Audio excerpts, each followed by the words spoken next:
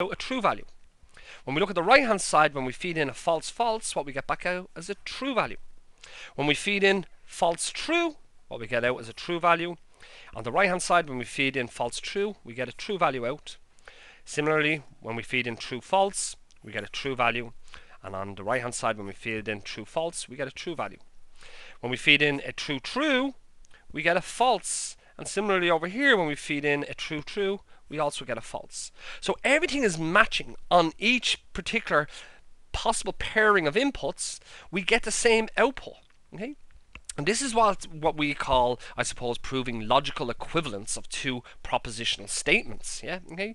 So what we've actually shown here through truth tables is that P ANDed with Q's negation, the negation of P ANDed with Q, is actually logically equivalent to the negation of P ORed with the negation of Q. Okay. Now, why is this important? Okay? Well, this is these particular laws allow us to, I suppose, reduce the com- reduce down the, the complexity of our propositional statements, and allow us to put propositional statements into what's known as conjunctive normal form and disjunctive normal form.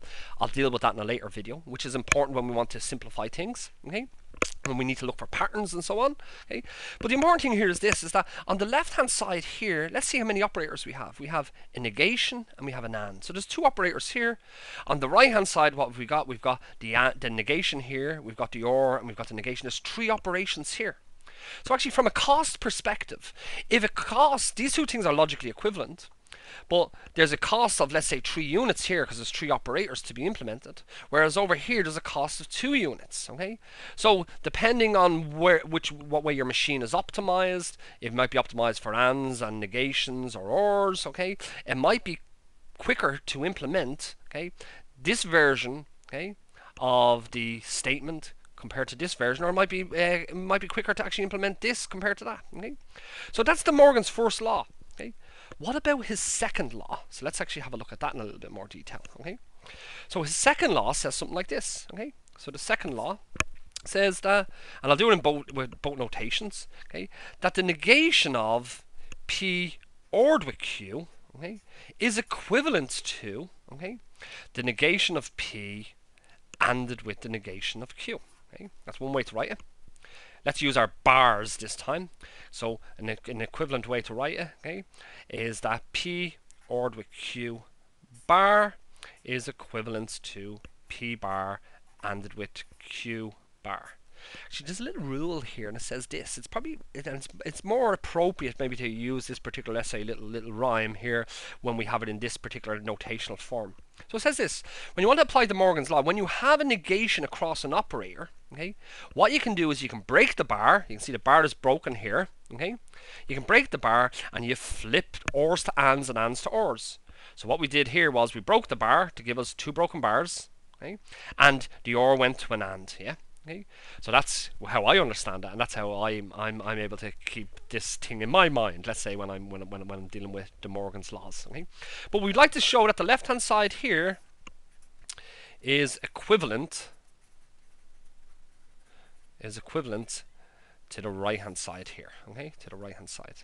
And the way we'll do it is we'll build a truth table for the left hand side and we'll build a truth table for the right hand side and we'll show under all possible inputs that both of them are have give the exact same output. So let's take the right hand side. So the truth table so the truth table okay, for p ORed with q bar so let's build a truth table. We can do it really quickly. Okay. So the inputs are p's and q's. So we put down p, q. All the possible, uh, I suppose, pairings of truth values is false, false, false, true, true, false, true, true. And we want to evaluate this. So before we can do the bar, we need to do the OR. So let's evaluate p ORed with q. Okay. Well, we know the way an OR works. An OR is only ever false when both of the inputs are simultaneously false. So the only place it's simultaneously false is here. So we get a false. They're not there. They're not there. They're not simultaneously false either there. So they must be all true. Okay. And then we can now now we can actually evaluate the negation. Okay.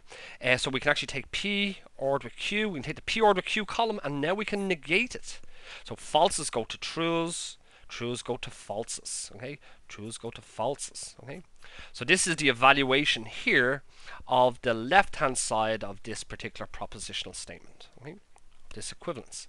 The truth table for the right-hand side, the truth table okay, for the right-hand side, which is p bar ANDed with q bar. Okay, well, we need to build a truth table. So how many inputs have we got? We have P's and Q's. So let's list them. P's and Q's and all the possible states they can be simultaneously in. So we have false, false, false, true. We have true, false, true, true. Once again, before we can do the AND, we need to evaluate both sides of this particular expression. Okay, so we need to do the negation of the P and the negation of the Q. So let's do P negated. Well, that means we take the P column and we negate the values. So falses go to trues, trues go to falses, trues go to falses. Okay.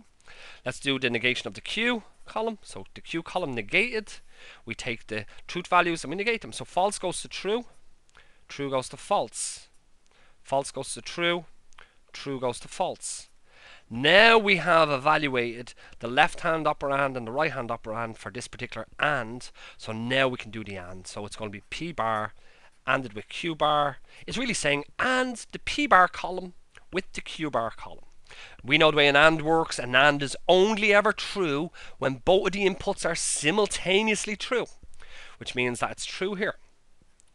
They're not simultaneously true here, either here, and neither there.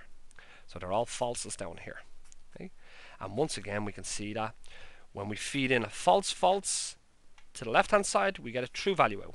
When we feed in a false false to the right hand side, we get a true value. When we feed in a false true, we get a false. When we feed in a false true, we get a false. And when we feed in a true false, we get a false. And a true false, we get a false. When we feed in a true true over here, we get a false. And when we do the same thing over here, when we feed in a true true, we also get a false. Okay? So actually what we've shown here, once again, through true tables, is that this particular expression here on the left-hand side is logically equivalent to this particular expression over here on the right-hand side. Okay, guys, uh, a little bit long this video was, uh, but I hope it was some in some way intuitive and helpful. Uh, it was dealing with uh, showing, it was an example of showing logical equivalence, and we used De Morgan's two laws as an example in this particular case. So once again, guys, uh, my name is Jonathan Lambert with the Mathematics Development and Support Service at the National College of Ireland, and I hope this video was some way in some way intuitive, and more importantly, I hope that was helpful for you. And once again, thanks for watching.